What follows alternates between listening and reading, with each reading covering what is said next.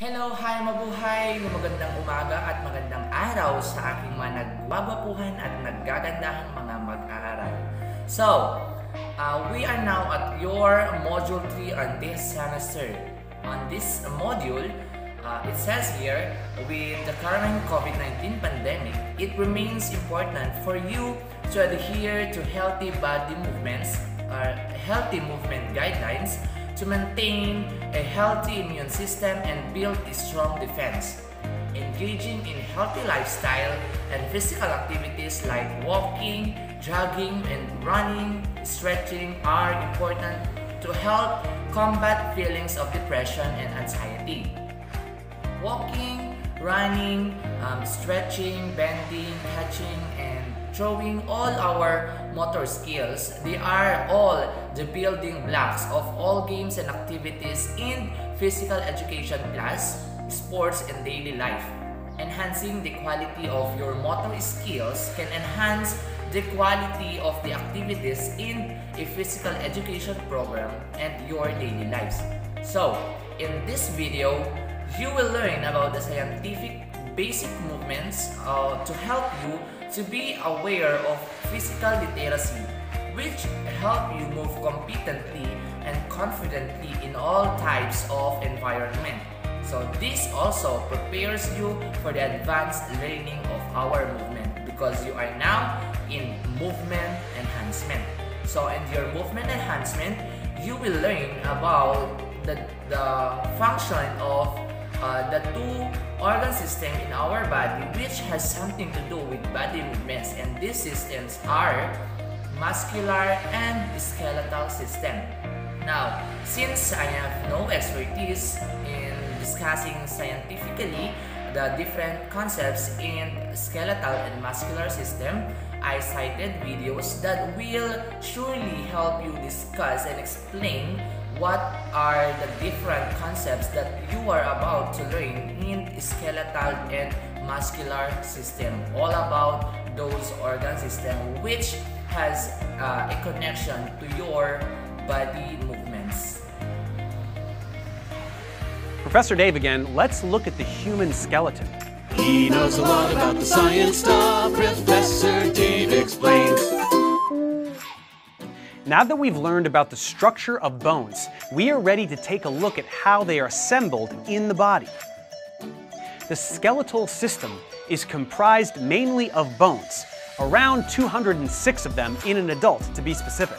But there is also a good amount of cartilage, joints, and ligaments, which altogether make up around 20% of a person's body mass. We will get to joints a little bit later. First, let's check out all the different bones in the body. As we recall, there are two sections to the human skeleton, those being the axial skeleton, made of the skull, vertebral column, and thoracic cage, and the appendicular skeleton, made more or less of just the limbs. Let's go through the axial skeleton first, starting at the top with the skull. The skull is a fascinating structure, made of 22 different bones. Cranial bones are the ones that protect the brain, and facial bones are the ones that give structure to the face. Most of the bones in the skull are flat bones, and in the cranium, these are connected at serrated lines called sutures. The cranium is made of a vault as well as a base, and we should note that the base is divided into the anterior, middle, and posterior cranial fossae. Together, these produce the cranial cavity where the brain sits. There are also ear cavities and nasal cavities, as well as orbits, which house the eyes. Altogether, there are eight cranial bones. There is the frontal bone, two large parietal bones, the occipital bone, two temporal bones, the sphenoid bone, and the ethmoid bone. The cranial bones are connected, as we said, by sutures, and those have specific names as well. These are the coronal, sagittal, lambdoid, squamous, and occipitomastoid sutures. We should also mention the foramina, which are holes that nerves and arteries and veins pass through, most notably the foramen magnum at the base of the skull, through which the spinal cord passes. Moving on to the facial bones, of which there are 14, we can start with the mandible, which is the lower jawbone. Then there are maxillary bones, which form the upper jaw and part of the face. Next, we have two zygomatic bones, which are the cheekbones, nasal bones, which make up the bridge of the nose, lacrimal bones, palatine bones, the vomer, and inferior nasal conchae. Lastly, technically not part of the skull, there is also the hyoid bone, which sits just below the mandible and does not connect with any other bone. Next up in the axial skeleton is the vertebral column, also called the spinal column or simply the spine. This is comprised of 26 irregular bones that come together to form a flexible structure in a curvy S shape, and this supports everything from the skull to the pelvis. The spine can be divided into five sections. At the top, we have the cervical vertebrae, which are the first seven. The next 12 are called the thoracic vertebrae. The remaining five are called the lumbar vertebrae. We should note that the vertebrae get larger as we go down in order to support more and more weight.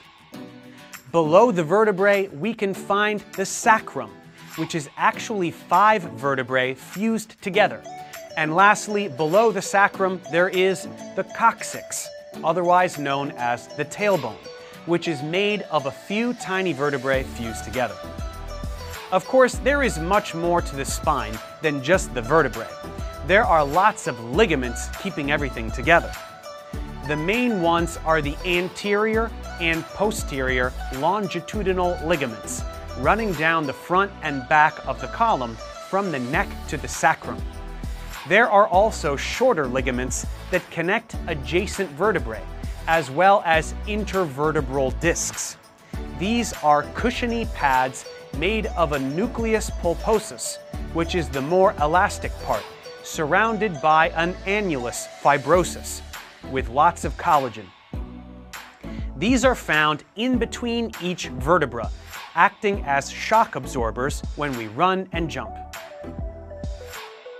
Now let's look a little closer at an individual vertebra. These all have a body and a vertebral arch. The hole is called the vertebral foramen, and the spinal cord passes through here, which we will discuss later. The vertebral arch is made of two pedicles and two laminae, and from these project various processes.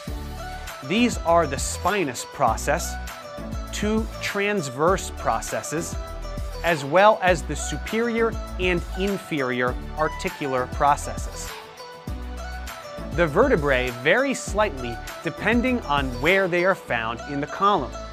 Cervical vertebrae have a spinous process that is very short, a vertebral foramen that is large, and an additional transverse foramen to accommodate vertebral arteries.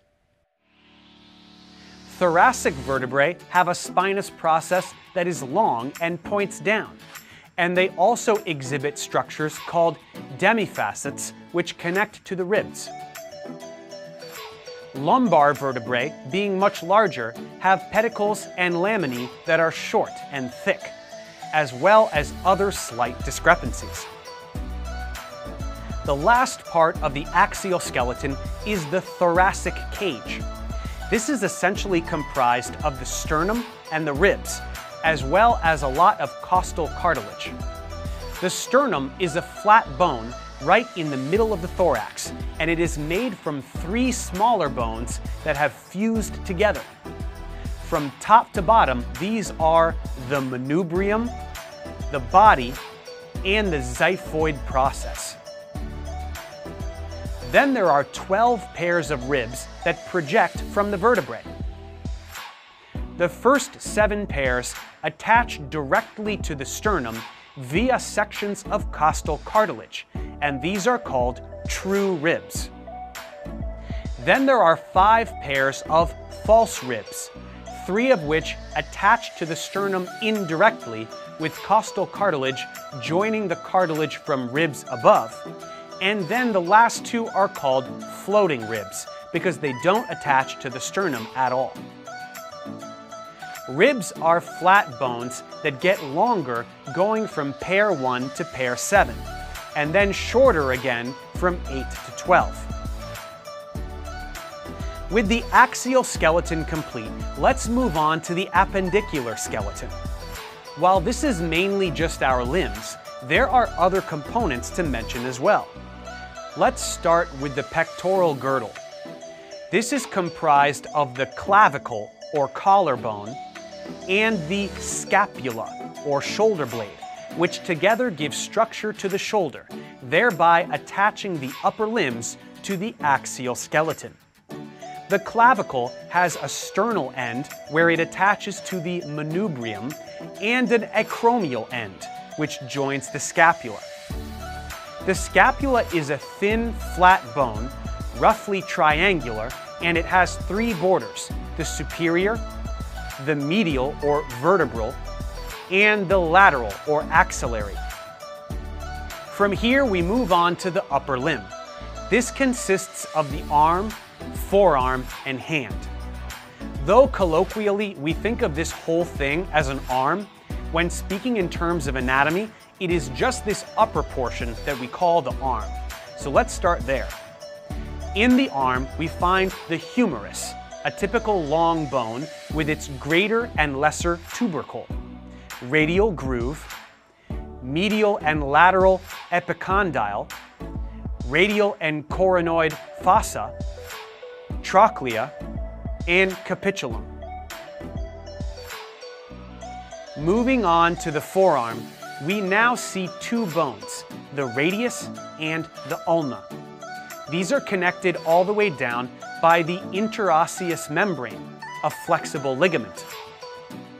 The ulna is slightly longer with its olecranon and coronoid process. The radius goes from wide to thin the other way, with a thin head, the radial tuberosity, and a radial styloid process. From there we see the hand, which has many separate bones. The carpus, or wrist, is made of eight short bones called carpals. These are the scaphoid, lunate, triquetrum, pisiform, and then the trapezium, trapezoid, capitate, and hamate. Next, we see the five metacarpals, which make up the palm of the hand, and they are simply named 1 through 5, from thumb to pinky. These connect to the phalanges, which are the bones that make up your fingers. There are 14 of these bones per hand, 3 per finger, which are the distal, middle, and proximal phalanges, except the thumb, which has two, as it has no middle phalanx. Moving back over to the torso, we see the pelvic girdle. This attaches the lower limbs to the axial skeleton, just like the pectoral girdle did for the upper limbs, although this one has far less mobility and far more stability than the other. This girdle starts at the sacrum we described earlier and continues with two hip bones. These are made of three separate bones at birth, which fuse to become one by adulthood. But we still describe the regions of the hip bone as being the ilium, ischium, and pubis. Lastly, the lower limb contains very thick bones, allowing us to run and jump effectively. The thigh is made of a single bone, just like the arm, and this one is called the femur, which is the largest bone in the body. Here we see the head with a small pit called the fovea capitis. Then the greater and lesser trochanter, the intertrochanteric crest, the gluteal tuberosity, linea aspera, medial and lateral condyles and epicondyles, intercondylar fossa, and patella.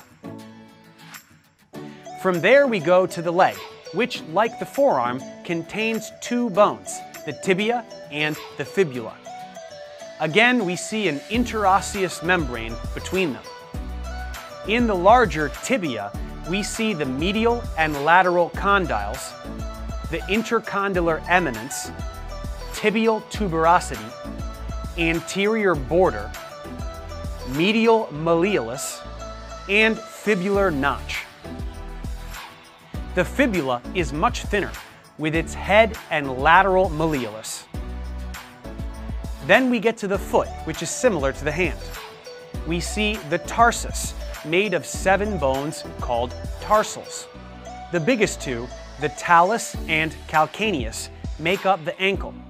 Then there is the cuboid, the navicular, and the medial, intermediate, and lateral cuneiform bones.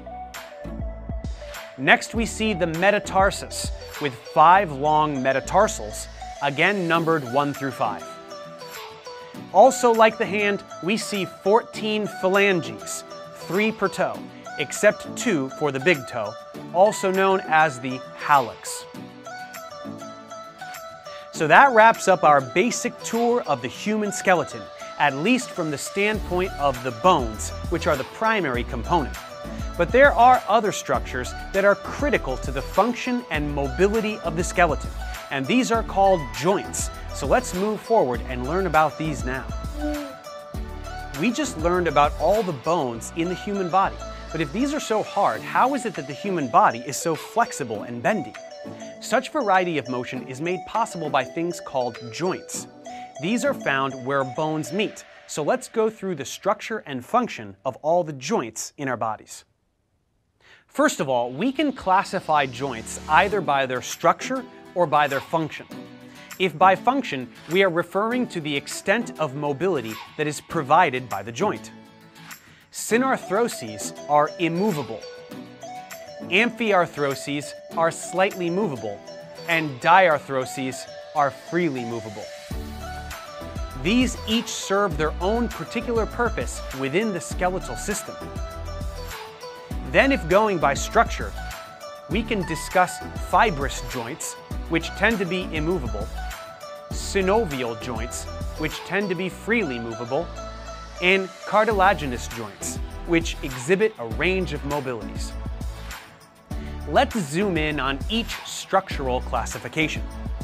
First, with fibrous joints, there is a lot of dense fibrous connective tissue and no joint cavity to speak of. These joints are for connecting bones that don't require a lot of movement. There are three types of fibrous joints. These are sutures, syndesmoses, and gomphoses. We talked about sutures when we looked at the skull, and this is the only place we will find them. They contain many interlocking fibers of connective tissue that are connected to the periosteum of each bone, allowing them to tightly interlock, and this tissue eventually turns into bone, or ossifies, so that by middle age, the skull bones are all fused together, at which point the sutures become synostoses. The next type of fibrous joint is syndesmoses. This is where bones are connected only by ligaments, which are bands of fibrous tissue. We see this connecting the radius and the ulna. Here the fibers are short, which prevents movement. And the last type of fibrous joint are gomphoses, which are like a peg in socket type of joint.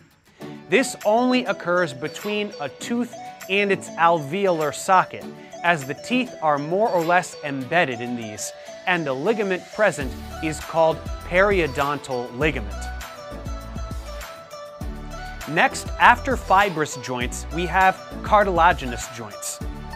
Here, as one might guess, bones are connected by cartilage. These also lack a joint cavity and are not particularly movable. There are two types of cartilaginous joints. The first are synchondroses, which contain hyaline cartilage. Before, we mentioned the epiphyseal plate in long bones of children, which allow for bone growth, and that is an example of this type of joint. The first rib also has one of these between the costal cartilage and the manubrium of the sternum. The other type of cartilaginous joints are symphyses, and these are made of fibrocartilage. This is compressible, so these joints are meant to be shock absorbers. We can find these in between vertebrae and in the pelvis. Lastly, we have synovial joints. These are the ones that have an actual cavity filled with fluid, which allows for substantial mobility. Most joints are of this type, especially the ones in our limbs. The structure of these is more complicated, but let's note a few features. First, articular cartilage covers each opposing bone surface, protecting the ends of the bones. Then there is the joint cavity. This contains synovial fluid, which is very viscous, containing hyaluronic acid secreted by cells that are in the nearby synovial membrane. This fluid acts as a lubricant and reduces friction between the layers of cartilage. The synovial membrane, together with the fibrous layer that flanks it, comprise the articular capsule. And beyond that are some reinforcing ligaments, as well as nerves and blood vessels. Beyond this basic structure, some synovial joints have fatty pads or discs of fibrocartilage separating the articular surfaces. These are also known as menisci. Closely associated with synovial joints are often bursae, flattened fibrous sacs containing synovial fluid, as well as tendon sheaths, which are similar but much longer and wrap around a tendon. These serve to lubricate certain surfaces and reduce friction between adjacent structures. Now that we know about the types of joints and their structural features, let's learn about the terminology that refers to the types of motion they allow. Muscles, which we will discuss next, have an origin attached to an immovable bone and an insertion attached to a movable bone. When muscles contract around joints, we get movement, and we can describe this motion by referencing certain lines or axes, as well as certain planes of space. First, for synovial joints, there can be non-axial movement, which are slipping movements, uniaxial movement, which happens in one plane, biaxial movement, which happens in two planes, and multiaxial movement, which happens in all three planes of three-dimensional space. Beyond this, motion can be gliding, angular, or rotation. Gliding movement happens when one flat bone surface slips over another. This happens at the intercarpal and intertarsal joints, allowing for left and right wrist motion. Angular movement happens when the angle between two bones changes. An example of this is flexion, which decreases the angle of the joint, like when bending the head forward or bending forward at the waist. The opposite of this is extension, which increases the angle of the joint. Straightening your neck or elbow or knee will achieve this. And hyperextension goes beyond this, like when bending your head back, bending backwards at the waist, and so forth. Then there is abduction. This is motion of a limb away from the midline plane of the body, such as moving your arms up and away from your sides. Adduction is the opposite, moving a limb toward the midline plane of the body, like bringing your arms down to your sides. Circumduction involves making circles with a limb, such as arm circles. And lastly, rotation involves the turning of a bone around its own axis. This happens at hips and shoulders, and it can be categorized as either internal rotation or external rotation.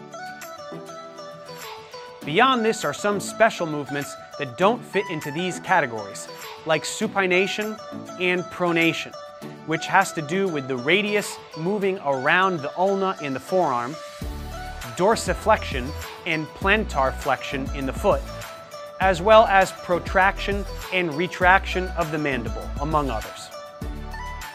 There is much more we could say about each individual joint, but since we have the basics covered, that completes our introduction to the skeletal system. Now we are ready to learn about the muscles that are attached to these bones and joints, which will give us a much better understanding of how the human body works. So let's check out muscles next. So we are now ready to learn about all the different muscles in our bodies by name, which together comprise the muscular system. There are hundreds of muscles in the body, so we won't name every single one, but we will go through some important points, as well as a number of the major muscles and muscle groups. First, how can we classify muscles?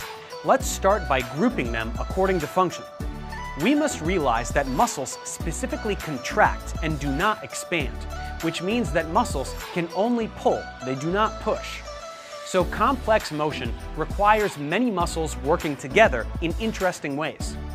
The four functions we will examine are as follows. First, there are prime movers, or agonists. These are muscles that have a primary responsibility in producing a particular motion. Muscles that oppose a particular movement are called antagonists. This can help provide resistance and produce more delicate motions. Next, there are synergists. These help the prime movers either by contributing additional force or reducing undesirable movements that could occur as the prime mover contracts.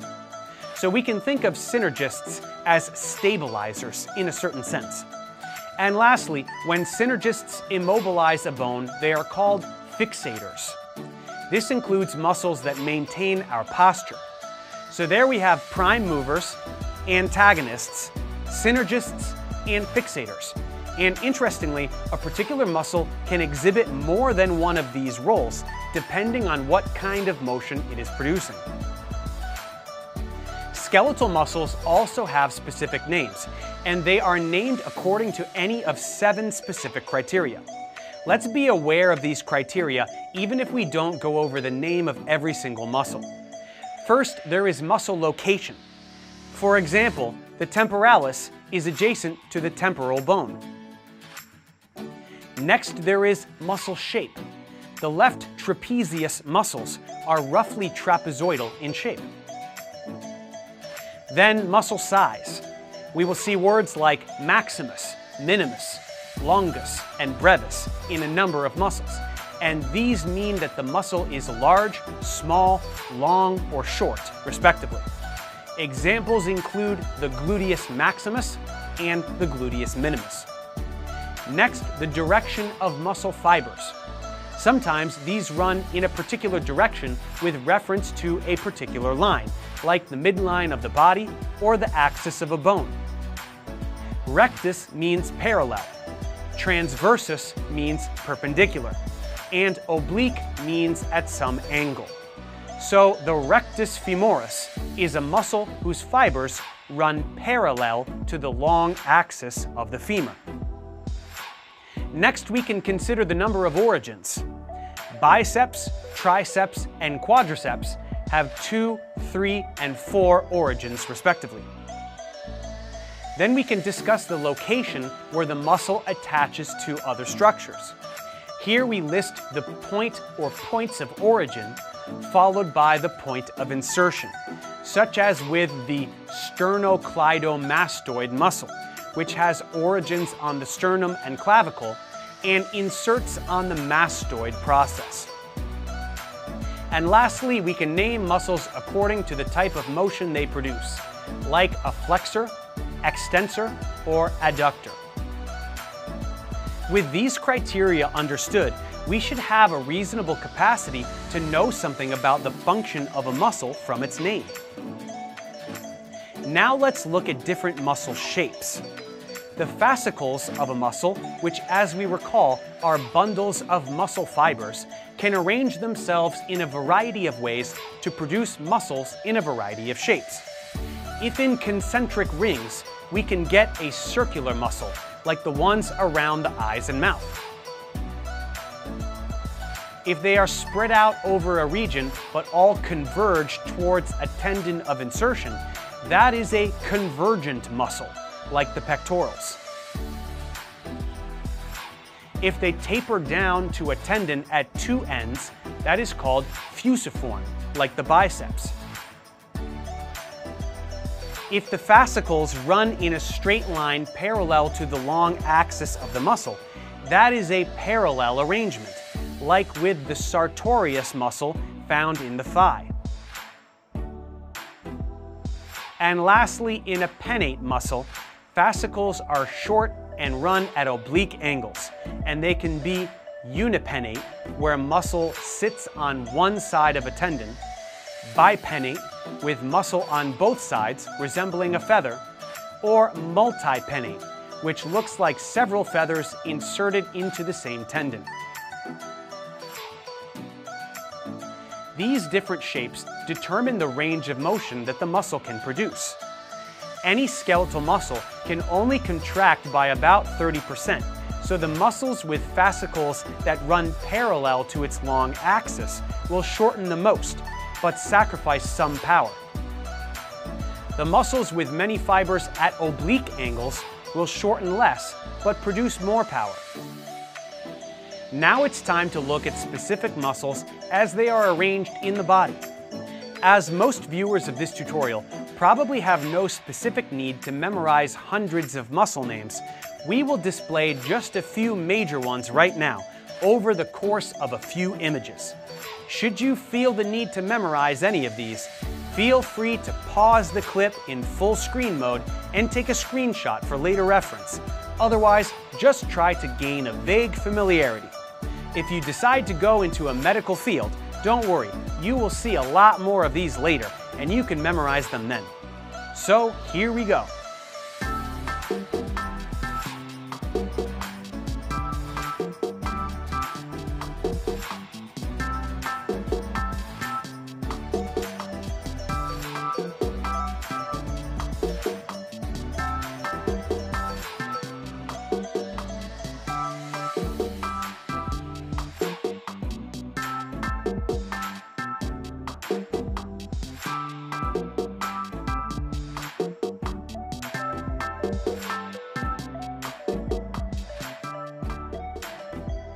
And with that, we have wrapped up our survey of muscle tissue, the mechanism of muscle contraction, and the muscular system.